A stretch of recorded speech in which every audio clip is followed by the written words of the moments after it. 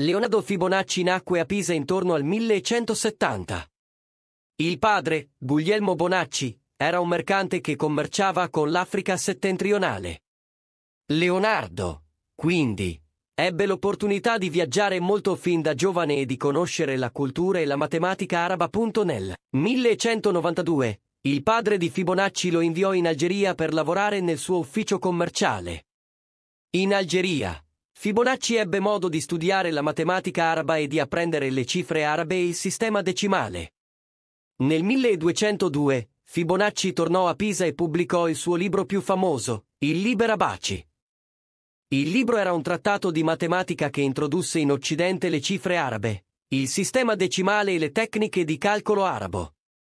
Il Liber Abaci ebbe un'enorme influenza sulla matematica occidentale e contribuì a diffondere la conoscenza della Matematica araba in Europa. Nel 1220, Fibonacci pubblicò un altro libro importante, il Practica Geometria. Il libro era un trattato di geometria che trattava di argomenti come la trigonometria, la quadratura del cerchio e la duplicazione del cubo. Fibonacci morì a Pisa intorno al 1240. Il suo lavoro ha avuto un'influenza profonda sullo sviluppo della matematica occidentale e continua ad essere studiato e apprezzato ancora oggi. Viaggi.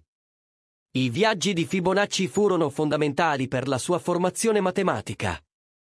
In Algeria, ebbe modo di studiare la matematica araba e di apprendere le cifre arabe e il sistema decimale.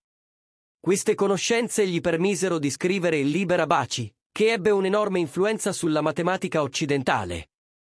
Fibonacci viaggiò anche in altre parti del mondo arabo, come l'Egitto e la Siria. In questi viaggi ebbe modo di conoscere altre culture e di ampliare le sue conoscenze matematiche. Contributi alla matematica. I contributi di Fibonacci alla matematica sono molteplici e di grande rilevanza. Tra i suoi risultati più importanti si possono menzionare l'introduzione delle cifre arabe e del sistema decimale in Occidente. Lo sviluppo di nuove tecniche di calcolo, come ad esempio il metodo di eliminazione di Gauss. La scoperta della successione di Fibonacci. La successione di Fibonacci. La successione di Fibonacci è una sequenza di numeri in cui ogni termine, a parte i primi due, è la somma dei due che lo precedono la successione di Fibonacci si trova in natura in molti contesti diversi, come ad esempio nella disposizione dei petali dei fiori, delle squame dei pesci e delle spirali delle conchiglie. Fibonacci scoprì la successione di Fibonacci nel corso dei suoi studi sulla matematica araba. La sequenza è stata successivamente studiata da molti matematici e ha trovato applicazioni in diversi campi della matematica, come ad esempio la teoria dei numeri, la geometria e la teoria delle probabilità. Influenza di Fibonacci Il lavoro di Fibonacci ha avuto un'influenza profonda sullo sviluppo della matematica occidentale.